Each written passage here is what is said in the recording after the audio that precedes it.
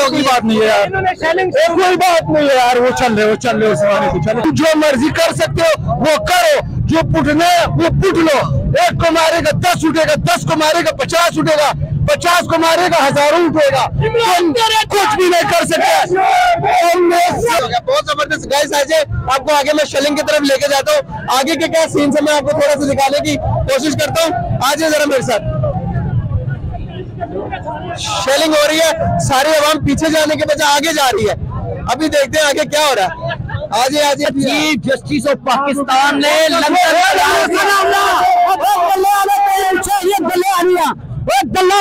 मंडी का शबाज शरीफ का काम नहीं है ना ये कचरा के ये क्या अस्सलाम वालेकुम अस्सलाम वालेकुम वालेकुम सर ये आप लोगों ने ये रस्सी बना के आपस में बंद किया हुआ क्या रीजन है ऐसे आप लोग मेरे पीछे बिल्कुल देख सकते हैं इमरान खान की रिहाई पर पाकिस्तानी अवाम जश्न मना रही है। मैं इनके पास जाऊँगा, इनके आपको नारे सुनाऊँगा, किस किस्म के नारे, आज़ादी के नारे लगा रहे हैं पाकिस्तानी अवाम यहाँ पर। आइए मेरे साथ आपको लेके चलता हूँ, क्या कुछ हो रहा, क्या नहीं हो रहा अब देखिएगा यहाँ पे।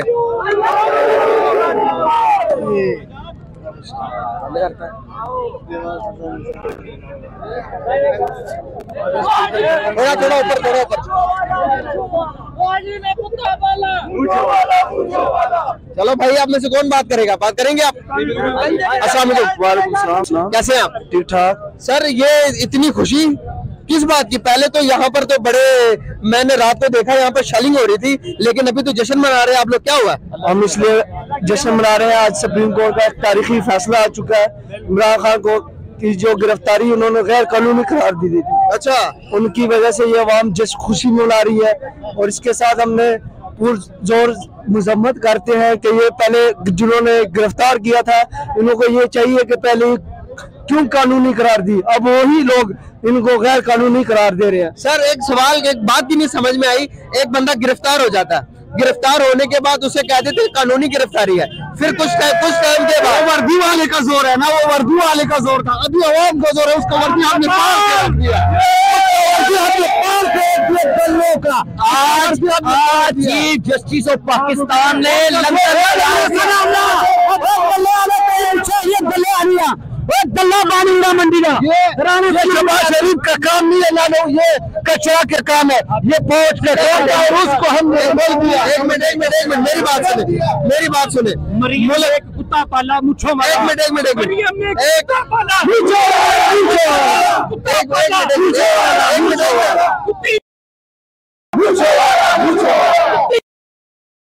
एक एक मिनट इधर आए इधर आए जरा एक मिनट एक मिनट मुझे बात क्या बात है? इस तरफ़ आजे थोड़ा सा। हाँ उन्नीस सौ सैतालीस से लेके अभी तक पचहत्तर साल गुजर गए। हाँ जी। पचहत्तर सालों में मुल्क के ये हालात हो गए। हाँ हमें अब होश आ रही हम अब जाग रहे हैं। इसके पीछे वजह कौन है? इमाम खमीनी को जब ईरान से निकाला था तो 22 साल जलावतनी उन्होंने गुजारी।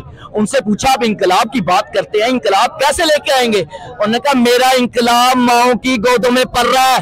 वो गोदों का पलावाज इंकलाब इमरान खान के साथ खड़ा हुआ है। सही हो कि कैसे आए? पचहत्तर साल में क्यों नहीं हुआ? एजुकेशन नौजवान तबका अब जागा है। अब पता लगा है बंद कमरों के फैसले नहीं मानेंगे। बिल्कुल सही। आज लंदन प्लान की चीफ जस्टिस ऑफ़ पाकिस्तान ने धजिया उड़ा दी हैं। आज लंदन प्लान फेल हो गया।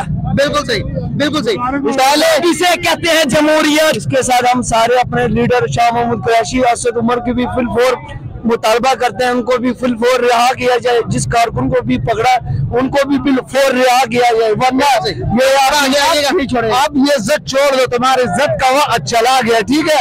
अभी ना तुम्हें कोई मानता है ना हम मानेगा और ना कभी तुम्हारे बातों में आएगा और ना तुम्हारी आवाज़ लगाएगा कि प्लाना जिंदाबाद ढींगना जिंदाबाद सिर्फ़ काम तुम्हारा था और हमें तुम्हारा तकबुर तोड़ना था तुम्हारा तकबुर हमने तोड़ दिया है।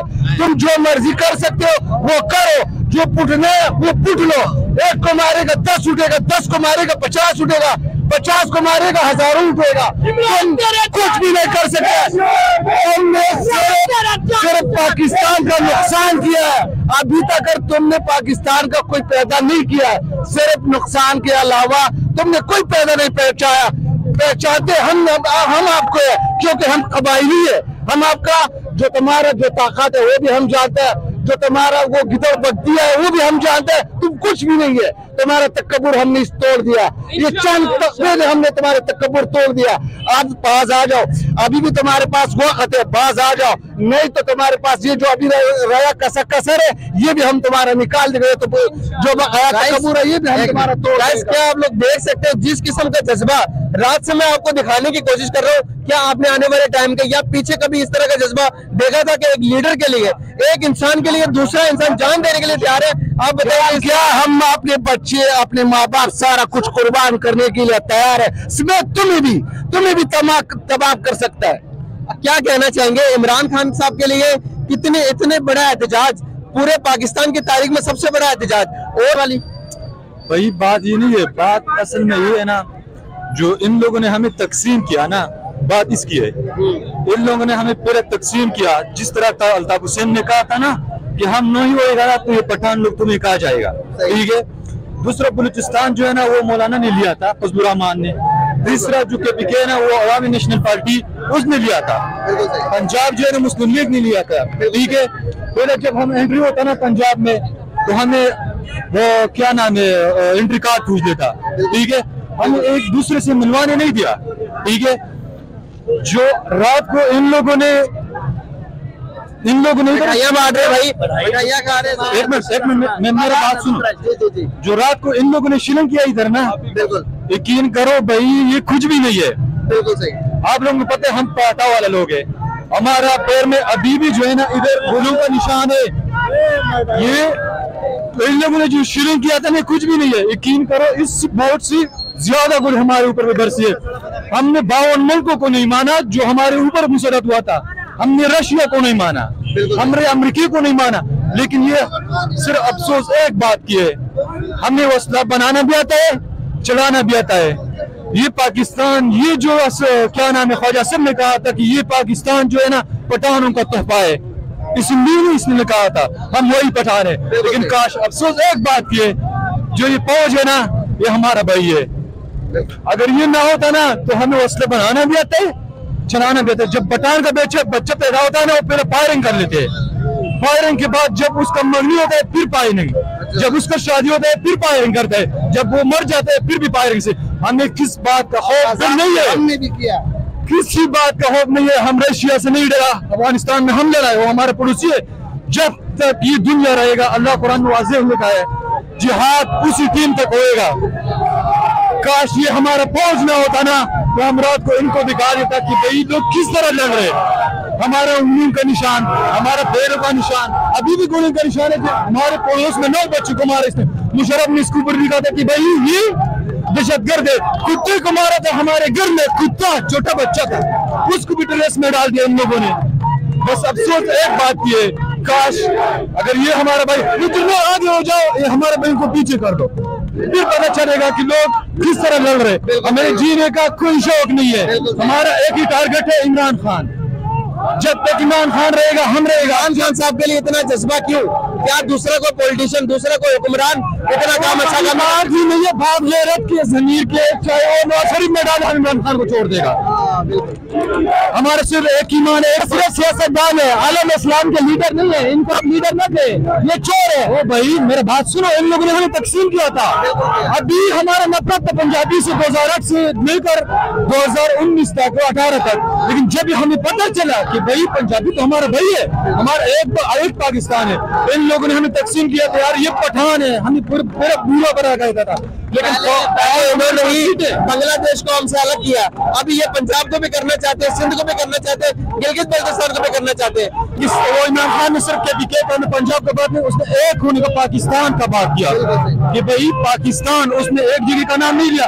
जब पंजाबी आता है वो नवाज़ शरीफ को पंजाब का नाम लेते हैं जलताप आता है उधर का नाम लेते हैं कराची का जब पीपल आता है वो भी वो क्या नाम है सरदारी कह रहे कि भाई जिस शहर में तीन करोड़ पठान बसते उसमें मैं किस तरह उसको हम एक ही है। जिस बिज़नेस में भी जाएगा हम एक ही है हम एक है हम एक रहेंगे एक मरेंगे। पाकिस्तान दुनिया के उस कोने में भी होएगा मुसलमान वो हमारा भाई है। जिधर भी होएगा मुसलमान हमारा भाई है। मैं निकले वो हमारा भाई है। फलस्तीन की आवाज़ उठा सकते हमारे खान नहीं लगाया था। ये इन लोगों ने लगाया था। ये जो चोर है पाकिस्तान के लोगों को एक मिनट साथ एकदम जब इलेक्शन होता है अमेरिका में ना उस तरह उधर की तरह किस तरह इलेक्शन होता है आपको पता है? मुशा वो क्या ना बुश सदर बुश ने कहा था ना भाई मुझे वोट दो। वोट दो मुझे। शेलिंग स्टार्ट होगी। बात नहीं है यार। कोई बात नहीं है यार वो चल रहे वो चल रहे उस जमाने को चलो चलने दो। इन लोगों ने वो लोग क्या कह रहे हैं ना भाई उसामा उन लोगों ने नहीं ढूंढ ढूंढा मैं ढूंढ लेता हूँ। ठीक है उसने इलेक्शन जितवाया फिर बाद में उबामा आया भाई मैं मुला उमर को मार दूँगा। उस लोगों ने उस तरह उठ दिया, फिर उसके बाद वो क्या नाम है, वो डोनाल्ड ट्रंप आया। वो भाई इन लोग उमर को नहीं मार, मैं मार दूँगा। फिर उसको जितवाया। ये अमेरिका लोग भी हमारी इधर लोगों मरने पे इलेक्शन कर रहे हैं। बात यही बात है। लेकिन ये लोग जो है ना, यार अभी सब कुछ हो गया, हल हो गया, फिर उसके बाद शेलिंग क्यों कर रहे हैं? पुलिस दोबारा से आ रही शेलिंग कर रही है आवाम के ऊपर। कुछ भी नहीं है, कुछ भी नहीं यकीन करो, खुदा की कसम, हमने अपने आँखों से पचास मार बार जो है ना बमबारी देखा हमने अपने जहाजों को बमबारी देखा अपने लोगों के ऊपर। बिल्कुल सही हो जो हमारा वो अपना लड़ रहा था हमारे से अपने अपने लोगों से बहुत ज़बरदस्त। गाइस आज आपको आगे मैं शेलिंग की तरफ़ लेके जाता हूँ। आगे के क्या सीन से मैं आपको थोड़ा सा दिखाने की कोशिश करता हूँ। आज जरा मेरे साथ। शेलिंग हो रही है। सारी आवाम पीछे जाने के बजाय आगे जा रही है। अभी देखते हैं आगे क्या हो रहा है। आज आज आज मैं दिखाता हूँ आपको। शेलिंग स्टार्ट हो गई है। शेलिंग आगे आगे। शेलिंग शेलिंग मेरे बिल्कुल पीछे देख सकते हैं, धुआँ उठ रहा है। शेलिंग दोबारा से स्टार्ट हो गई है हुकूमत की जानिब से। अवाम यहाँ पर जो मुजाहरीन है, वो देख सकते हैं, आप एक जगह पर इकट्ठे हो चुके मैं आगे नहीं जा पाऊँ, जा पा रहा बिकॉज़ के आगे शेलिंग हो रही है। कभी भी कुछ भी हो सकता है। तो मैं इन लोगों को भी यही रिक्वेस्ट करूँगा कि भाई आगे ना जाए। क्या कहना चाहेंगे? शेलिंग दोबारा स्टार्ट हो गई है ये देखें इनसे तो हमारे खान की कामयाबी भी हजम नहीं हो रही और आप देख सकते हैं कि ये कोई मैनर्स नहीं होते। वहाँ पे चीफ जस्टिस हमारे कप्तान को देख के कह रहा है कि हमें बहुत खुशी हुई है कि जनाब हमने आपको देखा है। और यहाँ आप देख सकते हैं कि यहाँ के जो मुनासिर हैं और वो किस तरह ये बदले ले रहे हैं हमारे ये कोई पाकिस्तान का रूल नहीं है। बिल्कुल सही। ठीक है आज जरा थोड़ा आगे चलते हैं। मैं आपको आगे दिखाता हूँ। ये देखे यहाँ पर ये ये जरा देखे जरा यहाँ पर।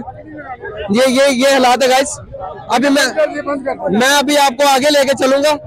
आगे आगे आगे आ जाइए थोड़ा सा थोड़ा सा आगे. थोड़ा आगे. थोड़ा आगे आजे आजे आजे ये क्या?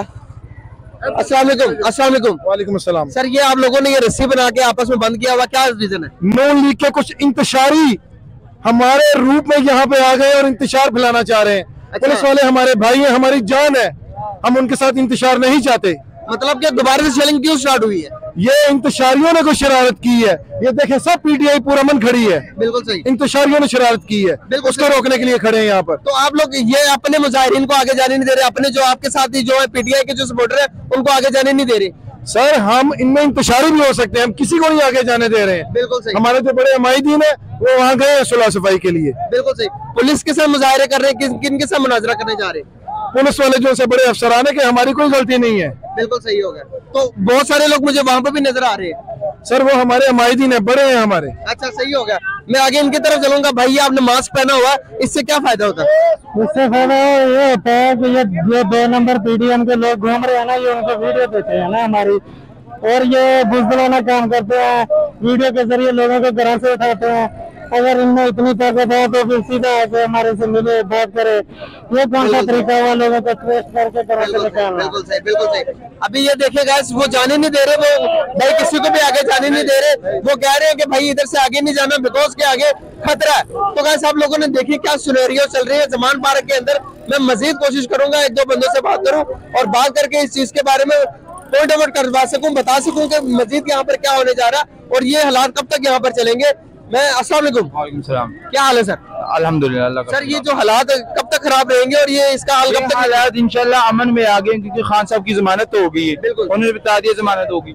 वो बच्चे कह रहे कि हम आराम से वहाँ बैठे थे। जान पूछ के उन्होंने शिलिंग की हम ये देखे अब लड़ने आ रहे हैं। हम अमन से बैठे हुए थे वो लड़, वो हमें लड़ने के लिए फिर तैयार करे कि फिर लड़े। वो एक भाई ने बताया शेलिंग 2018 की है एक्सपायर शेल हमारे ऊपर फेंक रहे अब जाएँगे ना तो वो दिल मुँह को आ जाता है। हमने हम कल रात वहाँ पर उनके साथ लड़े। हम पर हमने हमने हल्की सी आग जलाई हम एहतजाज कर रहे हैं। वो आके हमारे ऊपर जहरीला पानी और वो फेंक रहे हैं। सर इस तरह के सिनेरियोज फलस्तीन के अंदर इसराइल के खिलाफ लड़े जाते हैं। सर ये पाकिस्तान के अंदर मुसलमान मुसलमान को मार रहा है मुसलमान मुसलमान के साथ लड़ रहा है। ये कैसा ये ये भाईजान ये जो पुलिस है ना ये भी हमारे मुखालिफ नहीं है। लेकिन ये पीछे से जो हाफिज साहब के ऑर्डर है ना ये बड़े खतरनाक होते हैं। वो लोगों को हैं, अगर तुम लोगों ने ना इनको शेलिंग नहीं की एक्सपायर शेलिंग और इनको मारा नहीं डंडों से तो हम आपके साथ करेंगे।